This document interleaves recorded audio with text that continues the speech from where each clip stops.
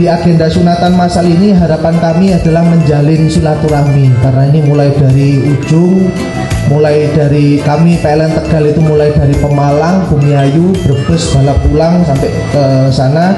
Termasuk ini salah satu bentuk kepedulian untuk mengukuhkan keislaman serta memberikan pelajaran kepada anak-anak tentang pentingnya hitanan di sini juga judulnya dengan hitanan membangun generasi islami sehat untuk masa depan.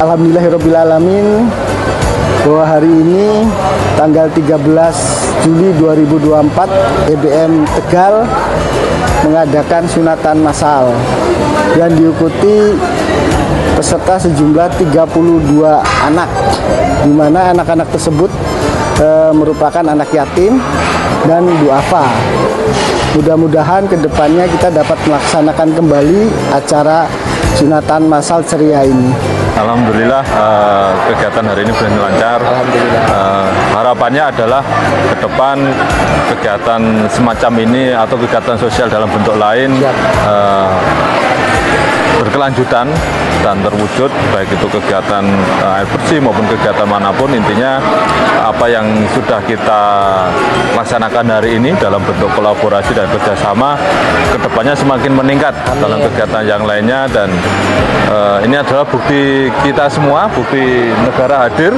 baik dari BUMN maupun dari TNI sendiri. Bahasanya kita uh, siap melayani dan membantu masyarakat. Kami dari pihak uh, manajemen RSC Kalaraya berharap agar kegiatan-kegiatan seperti ini bisa terus berlanjut yang insya Allah nanti akan berjalan dengan baik. Semoga nantinya anak-anak yang sudah dihitan pada hari ini semoga menjadi anak-anak yang sehat, soleh, dan berguna bagi nusa dan bangsa. Alhamdulillah anak saya sudah disunat. Terima kasih untuk perusahaan PLN. Namanya siapa Fatih. saya?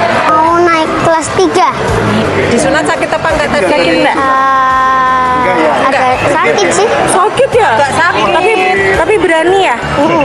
Hebat. Jadi anak soleh ya. Obatnya jangan lupa diminum ya nak. Ya. Terima kasih. Hari ini anak saya udah disunat. Terima kasih PLN Harapan saya PLN tetap jaya. IBM Bergerak